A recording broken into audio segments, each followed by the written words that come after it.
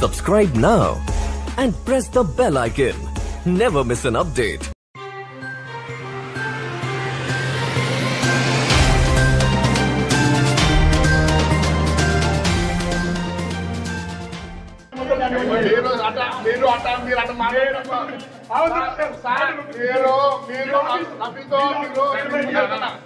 మీరు వ్యక్తిగత ఆరోపణలు పెట్టొద్దు మా మీద. ఎందుకు ఎందుకు కాదు?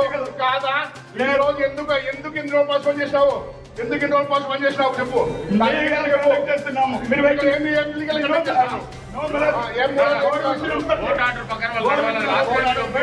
ఏం చూపిస్తాను.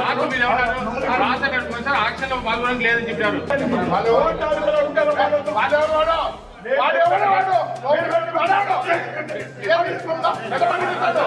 go get some more. I'm gonna go get some more. I'm gonna go get some more.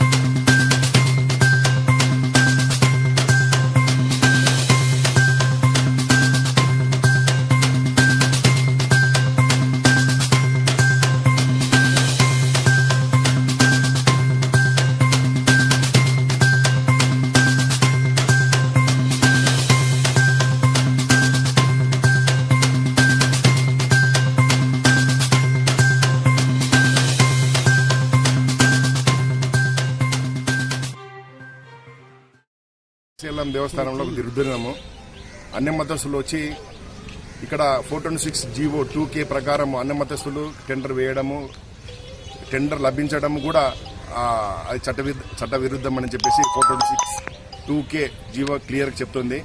అయినా కూడా ఈవో గారు వాళ్ళతో డబ్బులు తీసుకొని వాళ్ళతో మిలాఖత్ అయి ముస్లిం చేతితో ఈరోజు టెండర్ టెండర్లు వేపిస్తున్నాడు ఇది ఎంతవరకు సమంజసము? ఇది హిందూ సమాజానికి మా హిందూ మనోభావాలకి దెబ్బతీసినట్టు అవుతుంది. హిందువుల మనబలి ప్రతి ఒక్క దేవాలయంలో హిందువులను గౌరవించాల్సి వస్తుంది. కానీ అన్నమతస్తులు వచ్చి ఇక్కడికి వచ్చి ఈ ఇక్కడ ఉన్న టెండర్లలో పాల్గొని ఒక రకమైన జిహాది లాగా తీసుకొస్తున్నారు. ఈ రోజు శ్రీశైలం దేవస్థానాన్ని మాలిక్షా దర్గా అని చెప్పేసి ప్రచారం చేసుకుంటున్నారు వాళ్ళు. ఇది ఎంత దూరం పోతుందో ప్రజలే గమనించాలా? ఇక్కడ అన్న మతస్థులు జీవ ప్రకారం మన చట్ట ప్రకారం అన్న మతస్థులు దేవస్థానం అలౌ చేయకూడదు. కానీ ఈవో గారు కానీ ఇక్కడ ఉన్న స్టాఫ్ కానీ చాలా అన్యాయంగా బిహేవ్ చేస్తున్నారు. మేము ఖచ్చితంగా భారతీయ జనతా పార్టీ తరపున ఇది ఖచ్చితంగా ఖండిస్తాము. ఎక్కడైనా సరే మసీదులో సరే మసీదులు వాళ్ళ ముస్లింకి వాళ్ళకి ఎలా హక్కు ఉంటుందో చర్చ్ చర్చిలో క్రిస్టియన్స్కి ఎలా హక్కు ఉంటుందో హిందూ దేవాలయంలో కూడా హిందువులకు అలాగనే హక్కు ఉంటుంది. పడమతస్తులు వచ్చి ఇక్కడ మేము అది చేస్తాం ఇది చేస్తాం పెత్తనం చెలాయిస్తా అంటే ఎవరు ఊకుంటారు? నేను వెళ్ళి ఒక మసీదులో పోయి పె- పెత్తనం చెలాయిస్తా అంటే ఊకుంటారా చెప్పండి? నేను హిందూ వెళ్ళి ఎవరు ఎవరు ఊకుంటారు? వాళ్ళ వాళ్ళ రిలీజియన్ వాళ్ళ మనోభావాలకు దెబ్బతింటది అది. అది ఎగ్నెస్ ద లా. కానీ ఈ శ్రీశైలంకి వచ్చాలకే ఈ రఫీ రజాక్ ఒక పెద్ద మాఫియా.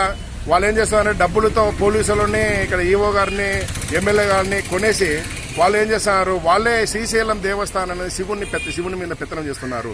ఖచ్చితంగా దీని మీద మేము కోర్టుకు పోతాము ఖచ్చితంగా స్టే తీసుకొస్తాము.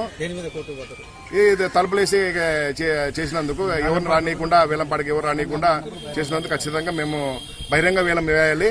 బహిరంగ వేలం వేయకుండా తలుపులు వేసుకుని వేలం వేలపాటు నిర్మించినందుకు ఖచ్చితంగా రేపు స్టే తీసుకొస్తాం దాని మీద. రేపు పొద్దున కోర్టు వారికి వినిపిస్తాము. వాళ్ళ వాళ్ళకి రావాలా వేరే వాళ్ళకి రాకూడదు అనే రకంగా ఈవో గారు ఇక్కడ కుట్ర పండుతున్నాడు దీని మీద ఖచ్చితంగా మేము స్టే తీసుకొస్తాం. ఆల్రెడీ దీని మీద కోర్టులో వాద్యం నడుస్తున్నాయి. మేము కూడా వాద్యంలో మేము ఇంప్లీడ్ అయ్యాము. ఖచ్చితంగా దీని మీద మేము స్టే తీసుకొస్తాం. లోపల ముస్లింస్ అన్ని మంది వాళ్ళ వాళ్ళు మొత్తం తీసుకుపోయారు. బినామీలు ముస్లింస్ అందరూ లోపలికి వెళ్ళారు. ఇక్కడ ఉన్న హిందువులకి బీద హిందువులు పోయి వాళ్ళ హక్కులు ఇవి. ఇక్కడ ఉన్న ము- హి- హిందువుల హక్కులు. షాపులు నిర్వహించుకోవడానికి కానీ అక్కడ చిన్న చిన్న దేవాలయ దేవాలయానికి సంబంధించిన పూజ సామాగ్రి అమ్మడానికి కానీ వాళ్ళ హక్కులు. ఆ హక్కులను కాళరాష్ట్ర ఈవో గారు ఒక పరమతస్తులకి ఈ రోజు ఇస్తున్నాడు. అది ఎంతవరకు సో సమంజసమో ఈవో గారు మాకు చెప్పాలి మేము ఈ ముస్లింస్ని లోపల రాకుండా అడ్డపడ్డానని చెప్పేసి నా ప్రాథమిక హక్కు నేను పోయి పార్టిసిపేట్ చేయడానికి నా ప్రాథమిక హక్కు ఇది నేను హిందువును. నేను దేవాలయం తిరిగే హక్కు ఉంది ఎక్కడైనా తిరిగే హక్కు ఉంది నాకు.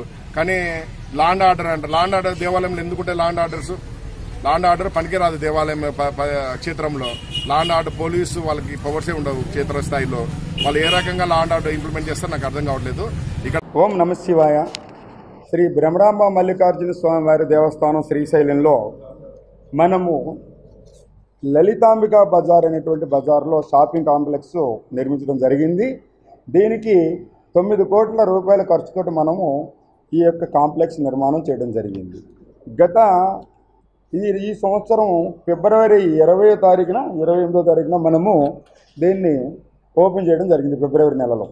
అయితే ఆ రోజు నుంచి మనము టెండరు ద్వారానే పబ్లిక్ ఆక్షన్ ద్వారానే మనము చేసుకుంటూ రావాలని నిర్ణయించి చట్ట ప్రకారము నాలుగు సార్లు మనము ఈ రెండు సార్లు ముందుగా మనం ఇన్విటేషన్ చేసినప్పుడు పబ్లిక్ ఆక్షన్కి ఆన్లైన్ ద్వారా కూడా మనకి ఏ ఒక్క అప్లికేషన్ రాలేదు. మొదటి రెండు సార్లు కూడా ఏ ఒక్క అప్లికేషన్ ఎవరో సబ్మిట్ చేయలేదు. తర్వాత మూడవసారి మనము ఈ హైకోర్టు వారి ఉత్తర్వుల ప్రకారము ఆక్షన్స్ నిర్వహించుకోవడం జరుగుతుంది. ఈ హైకోర్టు డివిజన్ బెంచ్ వారు మనకి WP number one zero eight double five of two thousand nineteen ప్రకారం మనకి ఇచ్చినటువంటి ఆదేశాలు ఏంటంటే ఈ దేవస్థానానికి కొంతమంది అన్యమతస్థులు ఈ హిందూయేతరులు ఎవరైతే ఉన్నారో వారు ఈ దేవస్థానంలో మేము కూడా పాటలో పాల్గొనడానికి మాకు అవకాశం ఇవ్వండి అని చెప్పేసి హైకోర్టు వారిని అడిగినప్పుడు హైకోర్టు వారు టెండర్ కండిషన్స్ ప్రకారం ముందు అప్లికేషన్స్ తీసుకొని ప్రాసెస్ చేసి టెండర్లో ఉన్నటువంటి నిబంధనలు ఏవైతే ఉన్నాయో దాని ప్రకారం మీరు చర్య తీసుకోండి ఇవ్వడం జరిగింది. అదేవిధంగా మరొకసారి వీళ్ళు ఈ పద్నాలుగో తారీఖుని రిపిటేషన్ నెంబర్ పదకొండు మూడు వందల ఎనభై ఏడు ఆఫ్ రెండు వేల పంతొమ్మిది ప్రకారం కూడా వెళ్తే ఈ హైకోర్టు డివిజన్ బెంచ్ వారు మరొక జడ్జిమెంట్ ఇవ్వడం జరిగింది. ఇదే సేమ్ జడ్జిమెంట్ కంటిన్యూ చేస్తూ however the action shall not be finalised per a period of three weeks అన్నారు ఇంతకుముందు ఇచ్చిన జడ్జిమెంట్నే చెప్తూ. అంటే ఇక్కడ వాళ్ళు మనకు చెప్పింది హైకోర్టు వారు చెప్పింది ఏంటంటే గౌరవనీయులు హైకోర్టు వారు మనకి టెండర్కి అప్లికేషన్స్ ఎవరైతే పార్టీ టు రిట్ పిటిషన్స్ ఈ రిట్ పిటిషన్లు ఎవరైతే ఉన్నారో అన్యమతస్తులు వారిని టెండర్లోకి రిజిస్ట్రేషన్ అంటే వాళ్ళు డీడీలు అవి సబ్మిట్ చేస్తూ తీసుకోమన్నారు. తీసుకున్న తర్వాత ప్రాసెస్ చేయమన్నారు. ప్రాసెస్ అంటే ఏంటి? వాళ్ళు మన దగ్గర మన టెండర్ కండిషన్స్ ప్రకారం డీడీ ఉందా ఉండవలసినంత వరకు? వాళ్ళు హిందూ మతస్థుల ఏది? జియో ఎంఎస్ నెంబర్ నాలుగు వందల ఇరవై ఆరు ప్రకారము అందులో ఉన్నటువంటి రూల్ టూ కే ప్రకారం అన్యమతస్థులైనటువంటి ఎవరు కూడా హిందూయేతర ఎవరు కూడా ఇక్కడ ఉన్నటువంటి దేవస్థానంలో ఈ పబ్లిక్ టెండర్లో కానీ ఆక్షన్స్లో కానీ పార్టిసిపేట్ చేయకూడదు దాని ప్రకారం దాన్ని మన టెండర్ కండిషన్లో ఉన్న నిబంధన రెండు కింద మనం పెట్టుకోవడం జరిగింది. దాని ప్రకారం అదేవిధంగా నేర చరిత్ర కలిగినటువంటి వారు ఏదైనా ఈ దేవస్థానానికి బకాయిలు ఉన్నటువంటి వాళ్ళు అటువంటి మొన్నకు వారు ఏదైనా మనం పెట్టుకున్నట్టు టెండర్ కండిషన్స్ ప్రకారం మీ టెండర్ కండిషన్స్ ప్రకారమే యాక్షన్ తీసుకోండి అని మాకు డైరెక్షన్ ఇవ్వడం జరిగింది.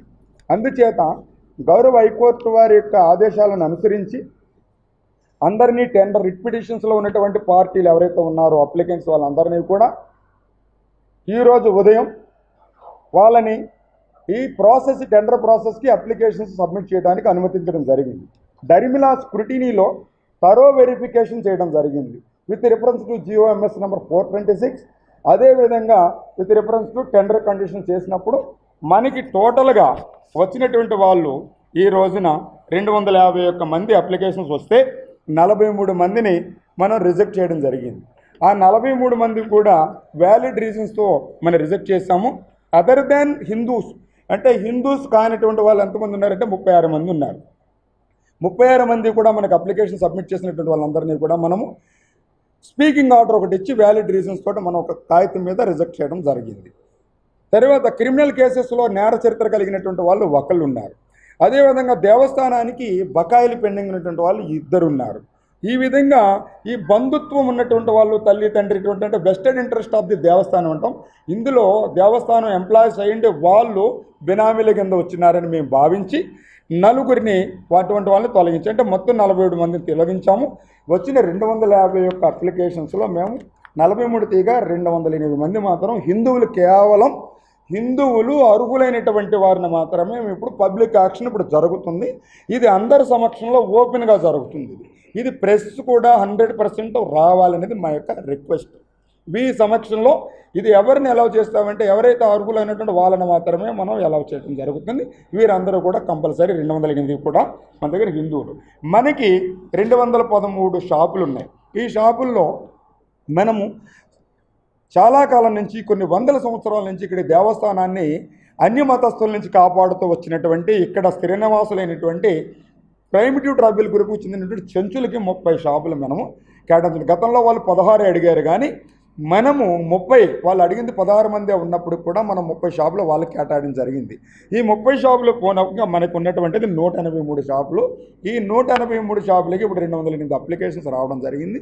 ఈ రెండు వందల ఎనిమిది అప్లికేషన్లోనూ మనం తీసుకోవడం జరిగింది. ఇది దేవస్థానం ప్రధానంగా మనం తీసుకున్నటువంటి చర్య. ఇది ఓపెన్గా జరిగిందే తప్ప ఎవరికి ఏ విధంగా క్లోజ్డ్ కాదు. మీ అందరి సమక్షంలో జరుగుతుంది. ఇది చంద్రావతి కళ్యాణ మండపంలో రెండు వందల ఎనిమిది మంది కూర్చోవడానికి మనం కూర్చోవడానికి కన్వీనియంట్గా ఉంటుందని చెప్పేసేసి అక్కడ వెన్యూ ఏర్పాటు చేసాము ఇప్పుడు ఒక అరగంటలో మనం అందరం అక్కడికి వెళ్ళినట్లయితే అక్కడ జరుగుతుంది. ఇది ప్రధానంగా చేసింది.